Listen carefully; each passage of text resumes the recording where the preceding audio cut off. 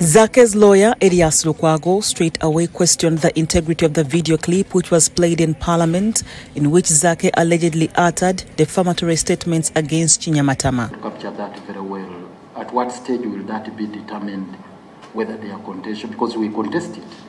Would like to know You don't know what, we, what are you going to contest which you have not seen? what was played. What was played, which is captured in the Hansard, because we already have what is in the Hansard here. What we do not have, Mr. Chairman, is the record of the proceedings for the entire occasion, the day.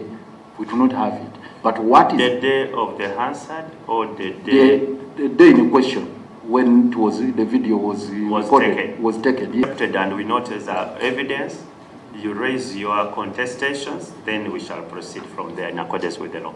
Honorable Chair, I agree with your guidance. Lukwago demanded that the person who captured the video be produced in the committee for cross-examination, which the chairperson Abdul Katuntu objected. But we would like to know whether or not today we shall have the person who allegedly took the video cover, I mean footage, who captured it, to come and tell But we don't know him.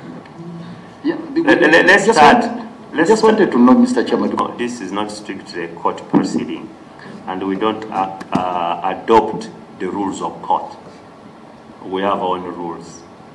What we guarantee is that any evidence before us shall be subject to the test of this committee and not to the test of a Last month, the Deputy Speaker of Parliament, Thomas Tayebwa, directed the committee to investigate the alleged case of misconduct against Honorable Zaake after Honorable Kinyamatama tabled the video before Parliament. Zaake's attorney also demanded that Kinyamatama is investigated over her misconduct on the day that the video was played in Parliament when she allegedly tried to lynch Zaake. my client has raised, which would like to bring to the attention of the committee, that on the day the footage was played in the house, that is the 12th of October, mayhem ensued, largely on account of the conduct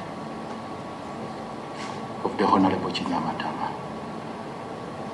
And according to the instructions I have, because I was not in the house, she was nearly lynched in the house. I would like to assure you, the Honorable Zaake, my colleagues you see here, you just look at them.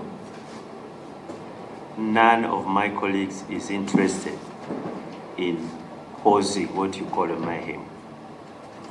And I'm sure the few times you've been this committee, you have seen how calm the committee is. The committee agreed that the said video is disclosed to Zaake and his lawyers for perusal before the committee can dive into deep inquiry on Thursday when the video will be played before the committee. I direct the clerk that you formally forward a certified copy of the answer to the Honorable Zaake. Number two, the tape, if we can listen to each other, the tape, which is the subject matter, should also be forwarded to him. Honorable Chair, through your guidance, I am in agreement with the proceedings and uh, let's wait for Thursday. No problem. Report compiled by Fred Kajubi for the news.